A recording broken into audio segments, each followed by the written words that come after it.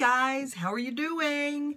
It's the Socially Awkward Seller here, awkward as ever, and um, I thought I would bring you a, a real quick video on um, basically what I sold, what I bought in the last day or so. Not much, just a couple of items. And uh, I don't know, maybe some insights. Um, so I uh, let's just jump right into what I bought. So yesterday I just stopped quickly by Goodwill and I'm really getting into shoes. I have not made that transition to clothing and I might not ever. It just does not interest me. Personally, I am not a fashionista, so it's not something I'm passionate about either. Um, but, you know, and that could change. You know, maybe I lose 50 pounds, I, I start to care about clothes, but I've never really cared about them that much.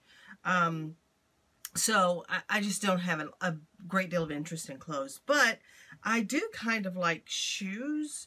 Not for myself so much. I mean, I like shoes, but um, I haven't always been barefoot and pregnant. Um, and I'm barefoot right now, but not pregnant.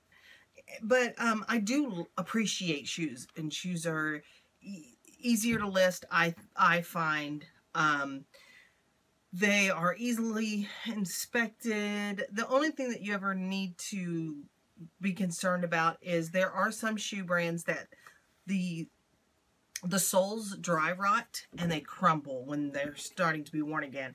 Not this particular brand, but this type of sole. So that is one thing to watch for. But typically, if you're buying things that have um, leather soles, you don't have as much problem. Um, none of the ones that I bought today have leather soles. But let me just show you what I bought. Um, they were all $3.99, I think. Yeah, I think they were $3.99. Um, because they're a flat rate at the store unless they're marked. So I bought these Sperry's, which are kind of cute. They're a pretty common size. They're seven and a half. Cute little pink inside. And they, they have been worn. There's a little soiling on the inside, but it's not bad. And um, know, the soles show some wear, but they're still in really good condition. There's still a lot of wear left in these Sperry's. And um, I love Sperry's. I just think they're a perennial favorite and they're just a classic shoe. I mean, this is a classic shoe. This has been around for the last 50 years. Um, it will continue to go around. I wore um, shoes like this in high school that were the dark chocolate color. So, uh, and we all know that's been a while. So I'm hoping to get 20 or uh, like 25, maybe $28 for these. I don't know if I can get 28, but I probably can get 25 easy enough. Um, interestingly, I bought these for myself. These are made by a company called BOC or Bach, I guess. Um, but really cool kind of textured um, loafer. Nice sole. Um, they ended up being a little too big for me. They're a size 10 um, medium, and they're just a little too roomy. They're, they wouldn't be comfortable for me to wear. So I'm going to try and get about $25 out of these because they're such an un unusual look.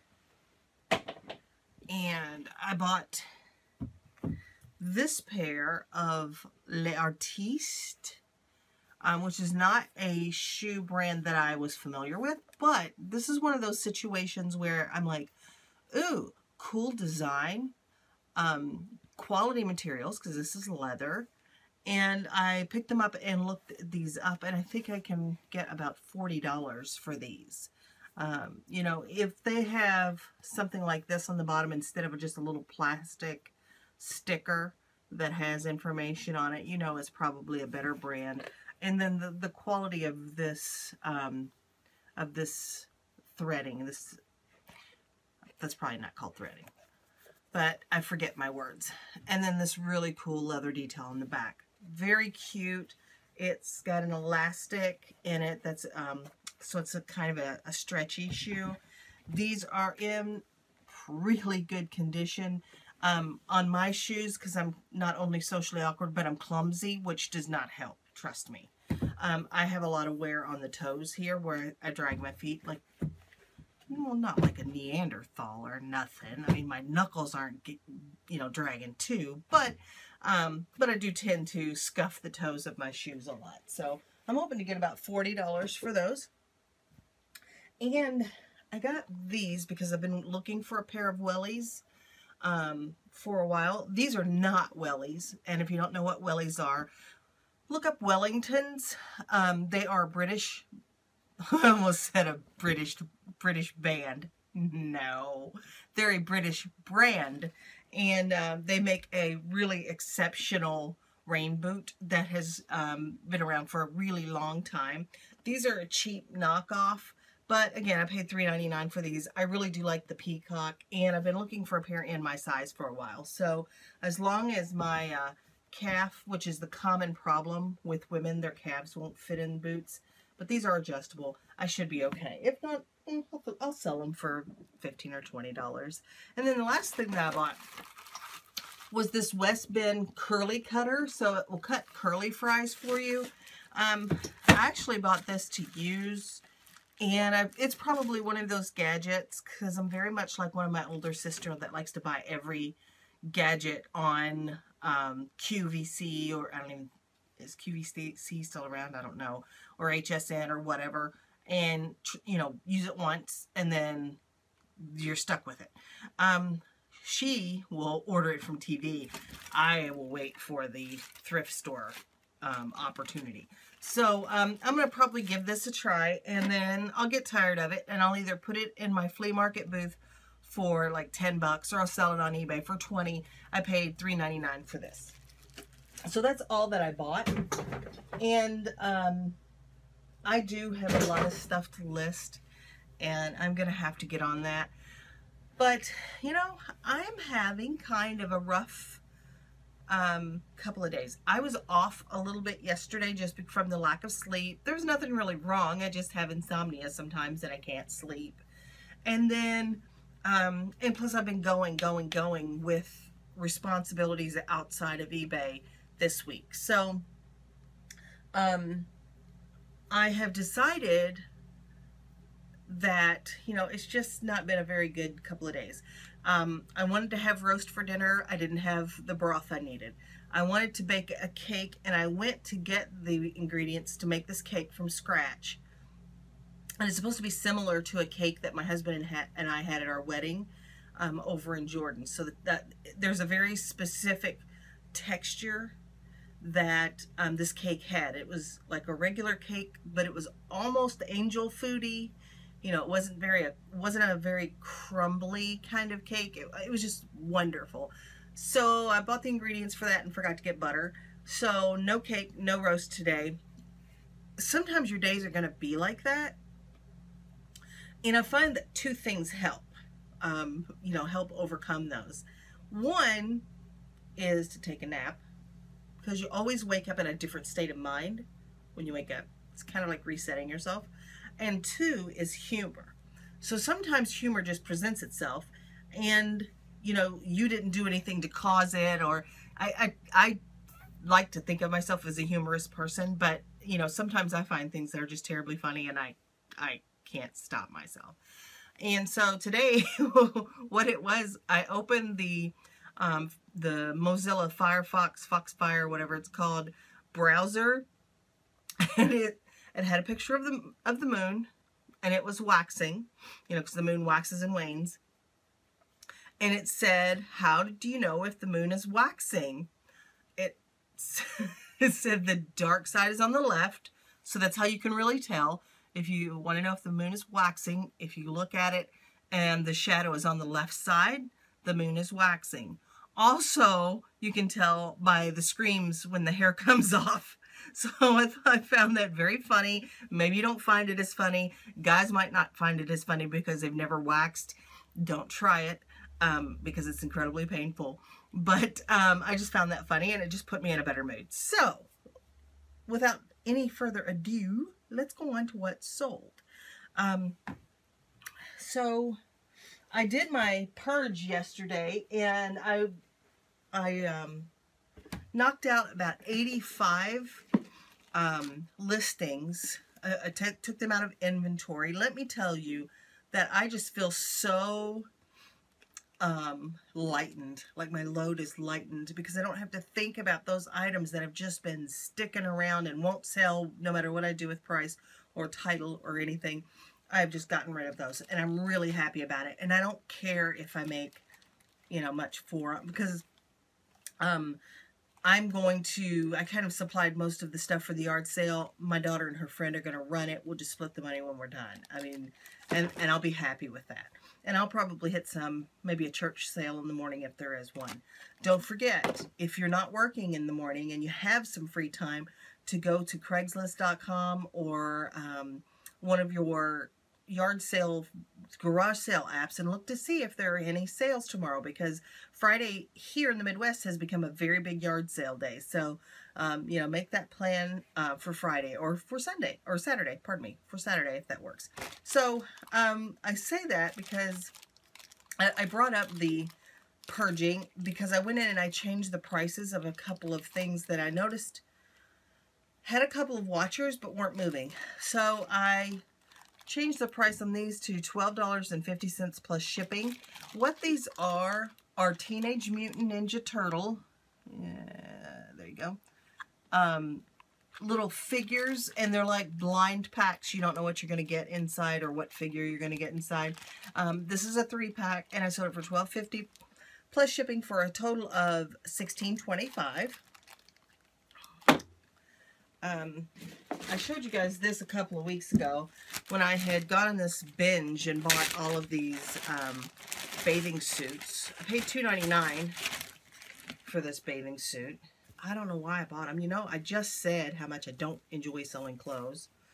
Um, but here's the top, and it's a tankini.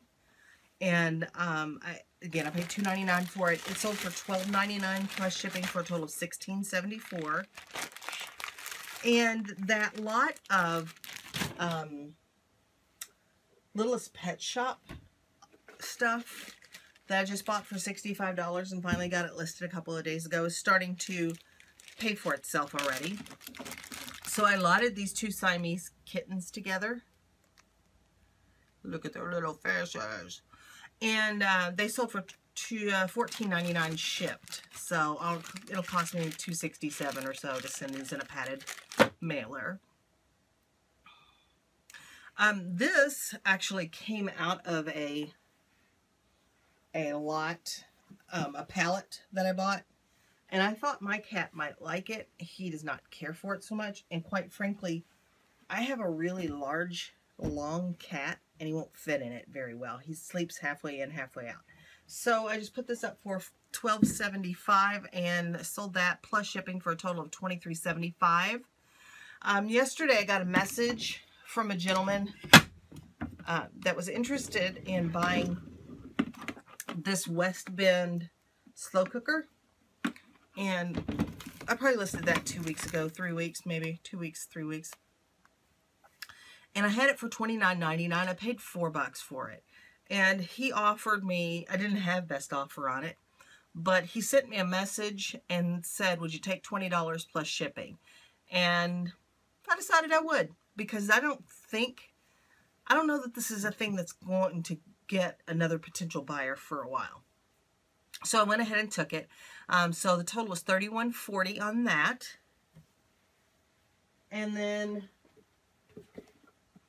this um, I probably had listed for about a month. This is a Belkin um, wireless router. And uh, I paid just a couple of dollars for this, like $2, I think. This sold for $24.99 shipped. Probably had that listed a month, I think. Um, and then the final thing was these um, Clark's, men's Clark's Bushacre um, uh, leather chukka boot. And I bought these for like $4.99. They needed laces. And quite frankly, I was just too too lazy to buy laces for them. So what I did was lower the price a little. Noted in the listing that they needed laces, and these these are really good condition, and Clark's are a really good shoe. I sold these for $23.75 plus shipping for a total of $32.25. And that's all I've got sold for today. So, um, if you're considering, I just wanted to bring this up because it came up today in a conversation. Um, two, two different points. The first one was my daughter is starting to get interested again in selling on eBay. Um, and her one of her friends is interested in as well. They both have small children. It's uh, sometimes not cost effective if you're going to work for a minimum wage or just above that job to put your kids in daycare. It is really, really expensive. So they're both interested in doing a job where they can work from home, they can work while the kids are asleep, um, and kind of go at their own pace. So the thing that came up was I wouldn't know what to buy. You know? Um, and there's no easy answer to that because there are millions of potential products. They are everywhere. And you can go in any direction. Um, you can buy, you know, you could sell clothing. You could sell dress coats. You could sell shoes. You could sell jewelry. You could sell um, mid-century modern tchotchkes for the house. You could sell vintage electronics. You could sell vintage kitchen appliances. You, I mean, there's just, you could sell hardware. You could, there's just a, no limit to the products, the diversity of products that are available. There's even more thinking out of the box if you create digital content or digital products where I'll make a logo for you. I will print business cards for you, that kind of thing. So, I mean, it's really limitless in um, what you can sell. And I guess that causes a problem in and of itself because where do you begin? If you have limitless possibilities, excuse me, where do you where do you start? And I say start with what you know. So if you are really knowledgeable about action figures, then maybe that should be your focus just for a little bit until you start feeling really comfortable with this process. If you are knowledgeable about paperweights, whatever it is, um, maybe it's Disneyana, anything that, that has to do with Disney, maybe that's your thing. Whatever it is, video games, which is, you know, that can be a saturated market, but still, you might be able to find something that's that's not available or that is rarely available. Um, there's just so much out there, and you know more than you think you know. Because I promise you, you buy things, and you're not blindly buying things. You you, you buy things for yourself all the time, so you know what those things are worth. Um, see if you can translate that into something to sell, and do research watch videos. If your interest is, is in clothing, there are lots of clothing sellers out there. If your interest is in camera equipment, there are sellers that just sell ca camera equipment. If you are interested in other stuff, you can look to see what I sell. You can look to see what some of the others sell. If you're looking for high-end products, that one's that's going to be your specialty because you know I find that, especially with clothing, um, when they're talking about high-end clothes, they're not they're not just the Gucci's and the Versace's and the Chanel's of the world. There are tons of other high-end brands that I've never even heard of because again, I don't care about clothes and I'm just not, you know, I don't have my finger on the pulse of the fashion world. So there is a lot of knowledge already out there on the internet Find a video that says 10 things you can sell on eBay. Watch to see how dated it is. Take that information and do research on eBay and see if they, those are still viable products. You know, if somebody's saying to sell baseball cards, well, let me tell you, a lot of baseball cards that were printed in the late 80s, 90s, and on aren't worth anything. You know, be very careful and do your research before you go out and spend $50 on a lot of ba baseball cards and you can only flip them for 90, 99 cents each. I mean, so, you know, be, be cautious about that. But there are resources out there. You shouldn't have to necessarily pay for that information. I'm not one of those people that people that will sell you a list of these products or these brands or any of that. Um, I think, pers- and there are people that get mad about that. Um, I personally think that there is enough market to go around because for every seller, there's, you know, there's how many buyers, you know, what's, there's, there's a millions, there's millions of buyers on eBay daily. So, um, I'm fine with sharing information and I think that, that it's important. I wouldn't have gotten to where I am and there's still much further for me to go. But I wouldn't have gotten here without watching videos and and having people share their their experience with me. So I'm fine with sharing that information. Um, but do your research, go with what you know, and um, do not let fear stop you from buying that first thing and listing it. Just do that. What is the worst thing that can happen? You screw up, you lose money. Well, invest a dollar or two dollars, and then your investment, your loss is pretty low. One thing. And the other thing is, completely on a different topic, I was asked today if I could sell some things for somebody. And I stay clear of that whenever I can. I'll sell something for my sister or my other sister. Um, but as far as doing consignment, I find that for the, the same amount of labor that I'm doing listing my own products, I am making less listing somebody else's product. And it's just not worth it to me. And I don't want to I don't want to spend my time listing stuff for them. I don't want to work for them in that way. I will show you all day long how to list a pro product, how to and answer your questions and show you how to do something. But I just don't want to spend my time doing that. Plus then there are tax implications and I just don't want to get into all that. So be cautious with that. It might be a good way to get your business started if you don't have funds to do um, you know, to start buying some products, maybe that's a way that you can start. But um, I would just be cautious with doing that because so this whatever sells and you go ahead and give, you know, you've sold this, you go ahead and give the owner of that their portion of the proceeds and 30 days later you get a refund request. What are you going to do? So, um, anyway, I would just be cautious with that unless it's something that helps you get your business going. And then I would try and steer clear of that because you'll find that you're working for other people for nothing or practically nothing when you could be doing this for yourself. So anyway, I'll di digress about that. All right, so that's about all I've got for you today. Um, I'll let you know how the yard sale goes tomorrow and if I find anything to to buy. I don't need to be buying really because I do have quite a bit to list and I need to get on that. Um, but I'll try and get it listed by Sunday because Sunday is usually a good listing day for me. But until then, Remember that the dream works when you do, so keep dreaming and keep working, and I'll see you the next time.